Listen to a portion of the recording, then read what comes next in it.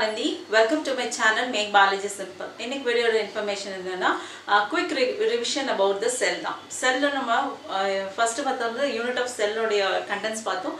So next நம்ம பார்க்கும்போது cell division and cell cycle இது ரெண்டும் தான் இன்னைக்கு பார்க்க போகிறோம் it's a quick revision methodology to study for the NEET exam so contents பார்த்துடலாம். ஸோ கண்டென்ட்ஸ்ன்றது நான் ஏற்கனவே சொல்லியிருக்கேன். What is the topics and what are the things that should be covered in that lesson அது என்னலான்றது ஃபஸ்ட்டு பார்த்துட்டு அதுக்கப்புறம் அதுக்கு கீழே வர சப் டாபிக்ஸ் எல்லாம் என்னென்ன படிக்கணும் என்ன பாயிண்ட்ஸ் இருக்குன்றத சொல்லியிருக்கேன். ஸோ நீட்டுக்கு படிக்கும்போது எப்போவுமே பார்த்தீங்கன்னா எல்லா பாயிண்ட்ஸும் லைன் பை லைன் நீங்கள் படிச்சுக்கோங்க. லைன் பை லைன் படித்ததுக்கப்புறம் அந்த கான்செப்ட் நல்லா ம- நம்ம மனசில் ஏறினதுக்கப்புறம் you have to take notes அதுதான் நம்ம இப்போ பார்த்துட்ருக்கோம் ஸோ அதில் நான் என்ன போட்டிருக்கேன்னா குயிக் ரிவிஷன் அதாவது என்னெல்லாம் படிக்கணும் எதில் எப்படி அதை பிரித்து படிக்கணும் எப்படி எந்த ஃபார்மேட்டில் படிச்சுக்கணும். ஸோ இதுதான் உங்களுக்கு வந்து போட்டிருக்கேன். ஸோ இது கண்டிப்பாக உங்களுக்கு வந்து ஃபைனலாக உங்களுக்கு ரிவிஷன் பண்ணும்போது யூஸ்ஃபுல்லாக இருக்கும். So let's going to the video and இந்த சேனலை நீங்கள் ஃபஸ்ட் டைம் ஃபஸ்ட் டைம் பார்க்குறீங்கன்னா my channel name is make Balaji simple so இந்த video till end you watch and இந்த வீடியோ உங்களுக்கு இன்ஃபர்மேஷன் பிடிச்சிருந்ததுன்னா லைக் பண்ணுங்கள் அண்ட் வேறு என்ன டாபிக்ஸ்லாம் உங்களுக்கு போடணுன்றது உங்களுக்கு சஜஷன்ஸ் இருந்ததுன்னா you put it in the comment box and finally share with your friends so நம்ம இன்னைக்கு பார்க்க போகிற குவிக் ரிவிஷன் போர்ஷன் என்னென்னா செல்லோடைய second lesson cell cycle and cell division தான் பார்க்குறோம்.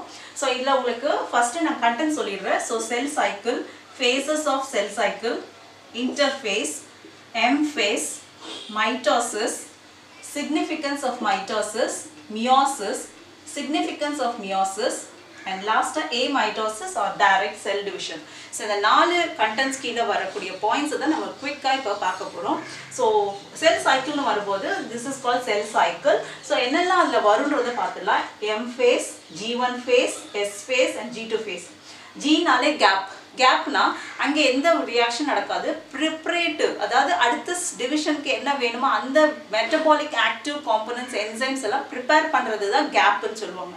So G one G two இருக்குது ஸோ அந்த ஜி ஜி ஒன்லேயே உங்களுக்கு வந்து ஜி நாட்டும் வந்துடும். அண்ட் எம் அண்ட் எஸ் தான் இம்பார்ட்டன்ட் செல் சைக்கிளில் so M stands for mitosis மைட்டாசிஸ்னால் cell வந்து ரெண்டாக டிவைட் ஆகும். அண்ட் எஸ் ஃபேஸ்ன்றது ரெப்ளிகேஷன் அதாவது நியூக்ளியஸ் வந்து ரெண்டாக பிரியும். ஸோ இதுதான் வந்து ரொம்ப important what is a reactions நடக்கக்கூடிய ரெண்டு ஃபேஸ் வந்து பார்த்தீங்கன்னா எம்என்எஸ் எஸ் அதுக்கு நடுவில் G phase G one G two and G not phase that is call கேப்னு சொல்லுவாங்க.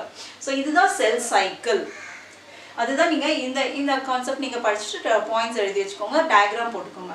நெக்ஸ்ட் வரும்போது பார்த்தீங்கன்னா ஃபேஸஸ் ஃபேஸஸ்னா என்னென்னா ஒரு ஒரு சைக்கிள்குள்ள என்னெல்லாம் நடக்கு.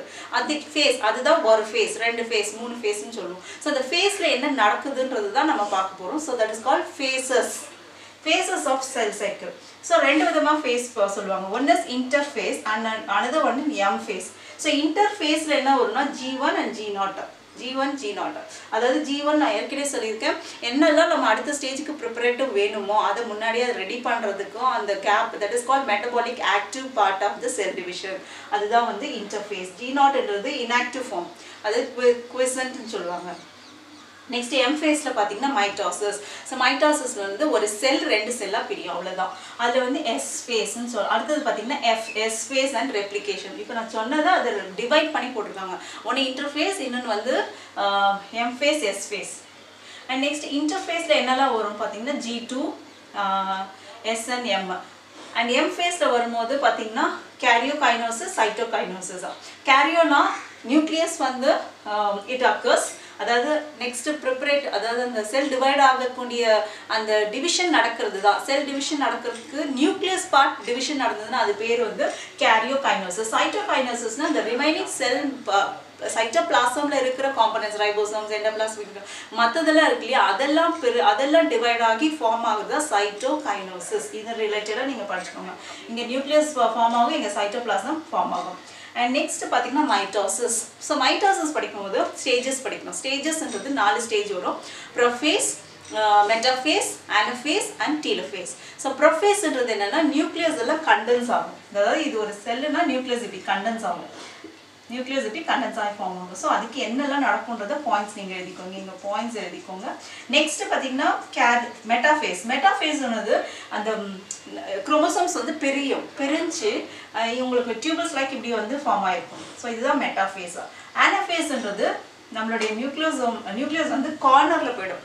கார்னரில் எப்படி இருக்கும்னு பார்த்தீங்கன்னா லைக் பனானா பஞ்ச் மாதிரி இருக்கும். ஸோ மேலே ஒரு பஞ்சு கீழே ஒரு பஞ்ச் இந்த மாதிரி பஞ்ச் மாதிரி இருக்கும். அது பேர் வந்து ஆனாஃபேஸ் அண்ட் டீலோஃபேஸ் பார்த்தீங்கன்னா அபவுட் டு டிவைட் அதாவது இப்போ இன்னும் கொஞ்ச நேரத்தில் அது டிவைட் ஆக போகுது. அபவுட் டு டிவைட் தான் இது வந்து டீலோஃபேஸ் அதாவது இங்கேயே தெரியும் பார்ட்டிஷன் ரெண்டு செல்ஸாக ஃபார்ம் ஆயிருக்கும். ஸோ இதுதான் வந்து phases of might of mitosis இது ரொம்ப சிம்பிளாக நீங்கள் படிச்சுக்கோங்க. அதுக்காக தான் நான் இந்த டயக்ராமேட்டிக் ப்ரெசன்டேஷன் போட்டிருக்கேன். டயக்ராமேட்டிக் பார்த்தீங்கன்னா எப்போவுமே நம்ம ஞாபகம் வச்சுக்கலாம். அண்ட் ஒய் சிக்னிஃபி ஒய் மைட்டோசிஸ் நடக்குது. எதுக்காக நடக்குதுன்னா சிக்னிஃபிகன்ஸ் எதுக்கு நடக்குது? டு க்ரோத் ஒரு செல் சின்னதாக இருக்கும்போது வளர்ந்து பெருசாகும். க்ரோத்து அண்ட் நெக்ஸ்ட் பார்த்தீங்கன்னா செல் சைஸ் ஸோ ஒரு ஒரு ச ஒவ்வொரு செல்லுக்கும் ஒரு சைஸ் இருக்கும். ஸோ அந்த சைஸை அட்டைன் பண்ணுறதுக்கும் மைட்டாசிஸ் தேவைப்படும். அண்ட் குரோமோசோம் நம்பர் மெயின்டைன் பண்ணணும். அதாவது உங்களுக்கு வந்து தெரியும் it is a pairs of chromosomes தான் இருக்கும். ஸோ அந்த குரோமோசோம் நம்பரை அது மெயின்டைன் பண்ணணும். அண்ட் தென் பார்த்தீங்கன்னா ரிப்பேர் சம்திங் ஏதாவது ஆப் இன்ஜுரி ஆப்பன் ஆச்சுன்னா அதை ரிப்பேர் பண்ணுறதுக்கும் மைட்டோசிஸ் தேவைப்படும். And reproduction of course we know that and healing and regeneration healing and ரீஜெனரேஷன்றது ஒரு செல் டெத் ஆயிடுச்சுன்னா அப்போ அதுக்கப்புறம் நியூ செல்ஸ் ஃபார்ம் ஆகுது தான் ஹீலிங் அண்ட் ரீஜெனரேஷன் ரீஜெனரேஷன்னா திருப்பி அது ப்ரொடியூஸ் பண்ணுறது ஸோ இதெல்லாம் தான் மெயினாக சிக்னிஃபிகன்ஸ் ஆஃப் மைட்டோசிஸில் வரக்கூடியது.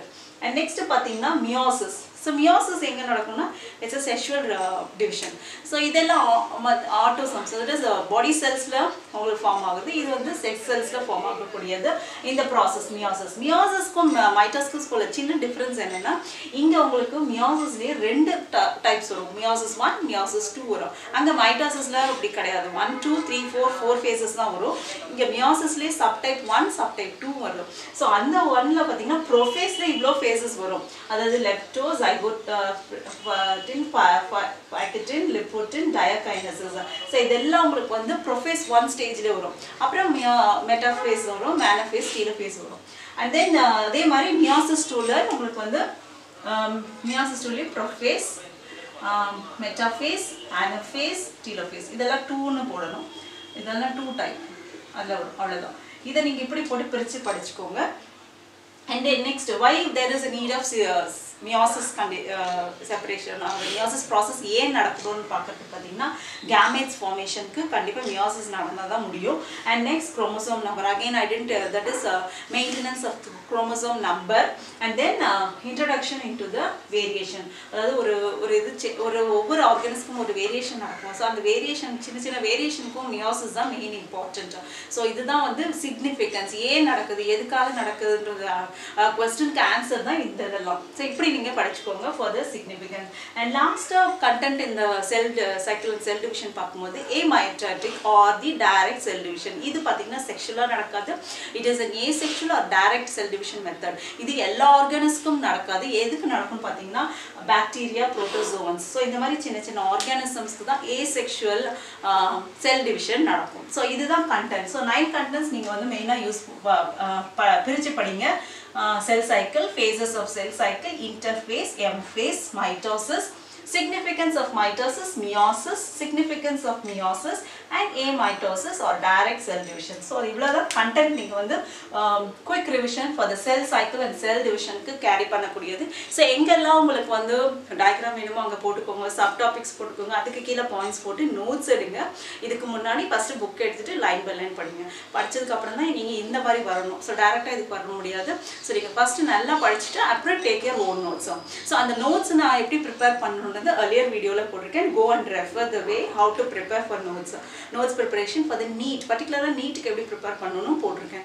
So that's all in today's video so next chapter next lesson அதோடைய குவிக் ரிவிஷனோட உங்களுக்கு அப்லோட் பண்ணி மீட் பண்ணுறேன் தேங்க்யூ ஸ்டூடெண்ட்ஸ்